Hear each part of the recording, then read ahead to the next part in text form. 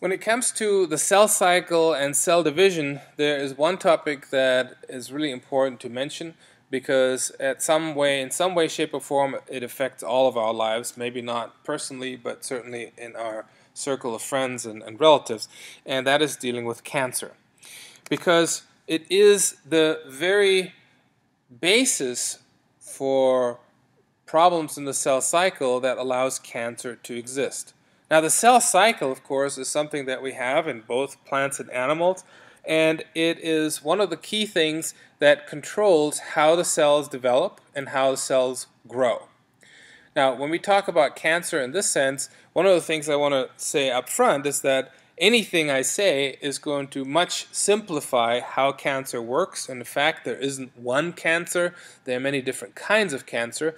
And so, by necessity, in order to keep this manageable and understandable, this is a relatively simplified presentation. Now, there are different kinds of things that uh, begin cancer to, to grow. And some of these things are external factors, things like carcinogens. Uh, sometimes it's something that happens from within. It could be a genetic defect. It could simply be the aging of a cell. It could be a, an honest accident. But whatever happens, this is going to interrupt or change the timing of the cell cycle as the cell grows. Now, what may happen in this case is that the cell either reproduces at the wrong time or it reproduces in the wrong place. And either way, what, whatever it is, whether it's timing or whether it's a, a spatial problem, you end up with some type of tumor growth. Now, one of the things that is important to note here is that uh, in terms of timing, think about how cells normally reproduce. Well, when you need a new cell or a replacement cell, it's perhaps because the older cell um, is no longer able to serve its function. Well, clearly in that case, a new cell might be needed. But what if a cell simply uh, overgrows a cell that's still fine, but it just grows too quickly and it is actually sort of let loose? Somehow, whatever normally would prevent it from growing just isn't functioning anymore, and so the defective cells overproduces and grows at the wrong time and perhaps in the wrong place. Now, uh, a benign tumor is the type of defective cell that remains cohesive in its place of origin. So that means that even though there are cells that are reproducing at the wrong time or perhaps in the wrong place, a benign tumor is not what we would recognize as a cancer per se. A cancer is something more insidious and harder to deal with because in this case you would have a tumor but it is spreading and in a case of these malignant tumors the cells are spreading to other parts of the body.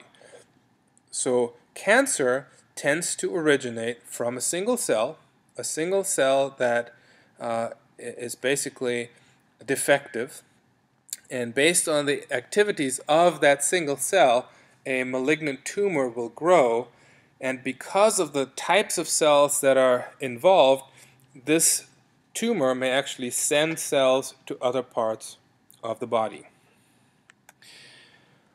Now, one of the um, major causes for cancer in, in women is uh, when cells of, of different parts in the mammary glands do not function properly and ultimately cause breast cancer. Now, these types of cells will divide rapidly, and once they begin to divide rapidly, they may even leave the bounds of the organ in which they originate. And this is, of course, a big problem because if you have a malignant tumor and these cells are no longer able to adhere to each other, then these cancer cells can literally travel to any part of the body. And when that happens, you call that metastasis.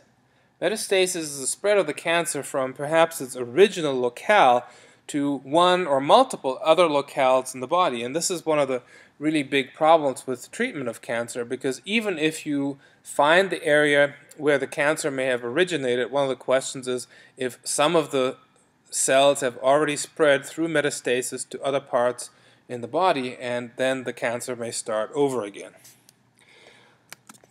Now, here's an example for how breast cancer may start.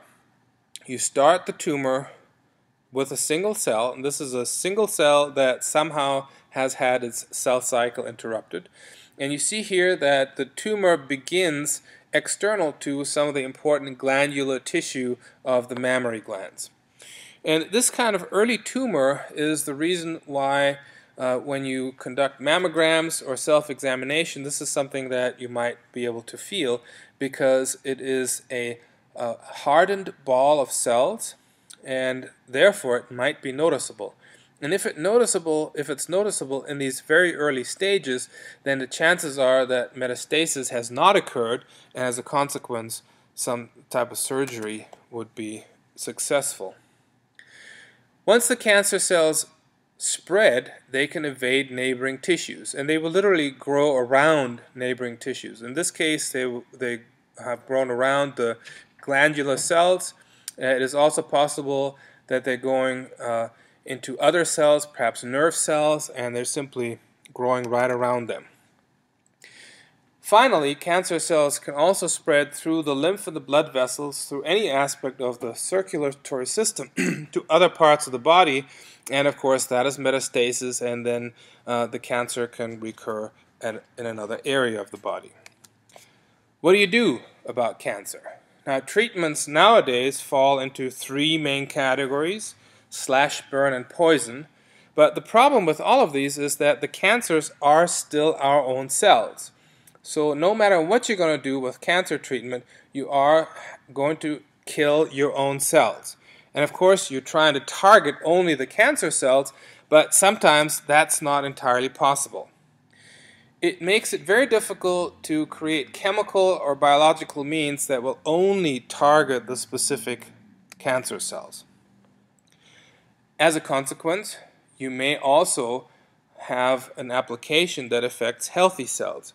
In particular, in general, cancer cells are some of the most rapidly growing and dividing cells in the body. And so if you can create some kind of treatment that will basically kill off all the cells that are very rapidly dividing, then the chances are you're going to affect the cancer. But of course, hair follicles, or the cells in the uh, lining of your mouth, those are also cells that grow very quickly. And as a consequence, any kind of treatment is probably going to have an effect there. Hence, things like hair, hair loss or the hair completely falling out, um, perhaps diarrhea when it comes to certain treatments. So all those kind of things are challenges. Clearly, surgery, that's the slash, is going to be important if there is a tumor and the tumor can be removed. That often is the case, but it's not always the case. In addition, you can try radiation therapy, that's the burn, and again, this disrupts cell division, and primarily it's going to disrupt the fast dividing cancer cells, but once more, there's no guarantees. Even if you target your radiation very finely, and focus it on where you think the cancer is. If you focus it too finely, then you may miss some of the cancer cells. If you focus it too broadly, then you're going to disrupt other fast dividing cells. Lastly, chemotherapy, that's the poison.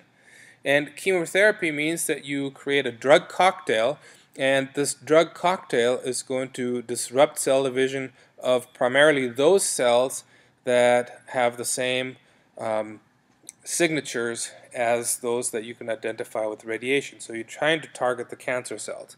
Now, some people react very strongly to chemotherapy, and chemotherapy really is poison for the body. And people who undergo chemotherapy tend to feel very poorly for some time because it has such a strong effect on all kinds of places in the body. So, what can we do ultimately? Um, research is showing that uh, with the many different cancers, there probably isn't anything we can do ultimately about cancer. It is likely that there are a lot of different forms of cancer that even go undetected in uh, elderly people, and maybe you have somebody who dies from what's called old age, but even then there may be some problems with, with cancers. so cancer may not be something that's preventable. Cancer is probably treatable. We are improving our methodology for that. But overall, there is agreement that if we have a relatively healthy lifestyle, we can minimize the potential for cancer. That doesn't mean eliminate it, but it means minimizing potential. So there are a couple of things that are pretty obvious. Smoking, for example, clearly causes tar deposits on lung tissue. Uh, these tar deposits are carcinogenic and they may mutate lung cells. Second, ultraviolet radiation. That causes cross-linkage of DNA molecules and then, of course, if you have DNA molecules that have missing bits of genetic information, then that may have an effect on the cell cycle, and that could be a problem. Lastly, intestinal cells, if you have a high fiber diet and you tend to scrape out parts of your intestine uh, regularly, that means you're going to have much more renewal in those cells than if you have older cells that never get cleaned out. Now remember, the issue with all of these things is that you're not going to entirely be able to eliminate the risk of cancer. You're only going to be able to try and live better in the hopes that it's going to help. And ultimately, it really only takes one cell. So in general, don't miss your annual checkups after age 40. This is men and women. And certainly, ladies, learn to perform self-examinations, have mammograms done as appropriate. I can also add, gentlemen, make sure that you do have prostate exams after age 40 uh, when your physician recommends it, and just go through the steps. I mean, it is uh, worth to minimize the risk, and ultimately, if you live a little bit longer, that might be just uh, the thing that you're looking for.